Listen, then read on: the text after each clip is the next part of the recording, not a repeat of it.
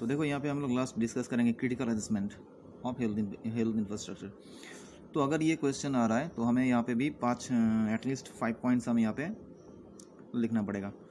तो यहाँ पे बोल रहा है कि improvement in the health status of the population is necessary for increasing the productivity and growth of the economy तो अगर हमारे देश में ग्रोथ को लेके आना है प्रोडक्टिविटी बढ़ाना है ग्रोथ लेके आना है तो डेफिनेटली हमारा देश का जो पॉपुलेशंस है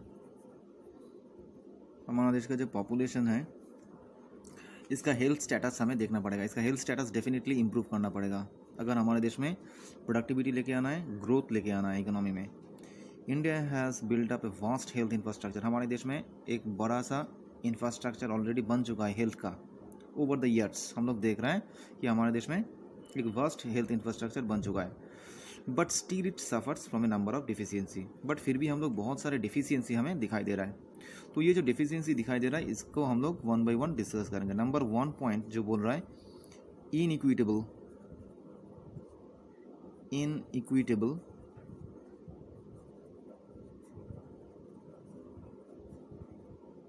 inequitable distribution of health, inequitable distribution of health, या हेल्थ सर्विसेज़ ठीक है? तो क्या बोल रहा है कि the existing health system suffers inequitable distribution of institution and manpower तो इनइक्विटेबल डिस्ट्रीब्यूशन ऑफ़ क्या बोल रहा है?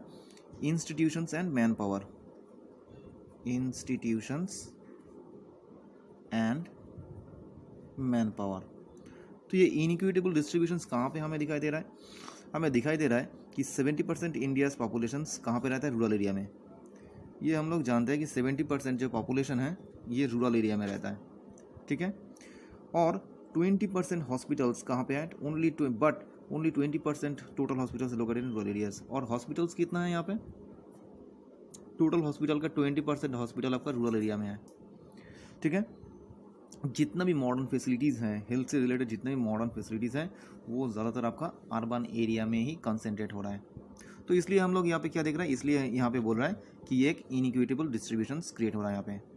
एक इनइक्विटेबल डिस्ट्रीब्यूशन यहाँ पे क्रिएट हो रहा है कि सेवेंटी परसेंट पॉपुलेशन आपका रूरल एरिया में है, जहाँ पे हॉस्पिटल्स है आपका ट्वेंटी परसेंट और ज़्यादातर जो मॉडर्न फैसिलिटीज़ है, ज़्यादातर मॉडर्न फैसिलिटीज़ आपका अर्बन एरिया में कंसंट्रेट हो रहा है। नेक्स्ट बोल रहा है communicable disease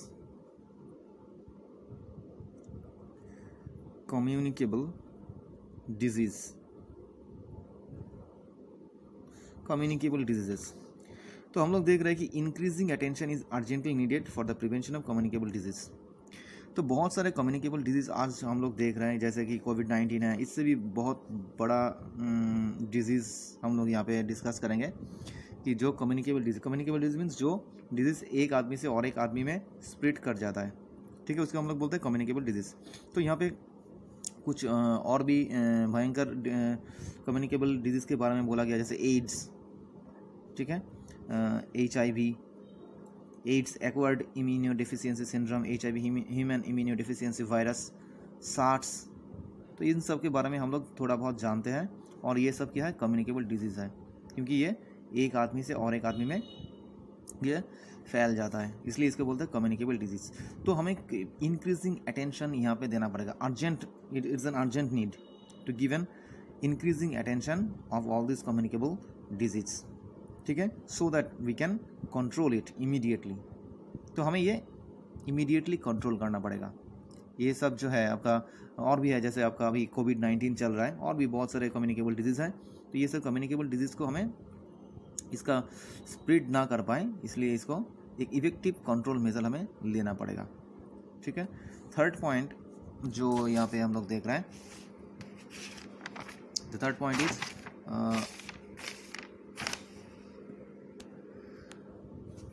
third point is poor sanitation facilities poor sanitation poor sanitation facilities. Poor, what is poor sanitation facilities? Sanitation facilities extremely poor in both rural and urban areas. तो urban area and rural area दोनों में ही अगर हम लोग देखेंगे sanitation facilities तो बहुत ही ख़राब है। अर्बन एरिया में भी बहुत सारे स्लम एरिया है जहाँ पे सैनिटेशन फैसिलिटीज़ बहुत ख़राब है। और रूरल एरिया में भी हमें दिखाई देता है कि वहाँ पे सैनिटेशन फैसिलिटी है ही नहीं। 70% of the houses in urban areas do not have toilet facilities and the condition of the rural areas even votes तो 2001 का जो सेंसस है 2001 का सेंसस के हिसाब से अर्बन एरिया में ही हमें दिखाई दे रहा है कि वहाँ पे 30 परसेंट ऐसे हाउस होल्ड हैं जहाँ पे टॉयलेट का फैसिलिटीज़ नहीं है, और रूरल एरिया में तो और भी बदतर है। ठीक है?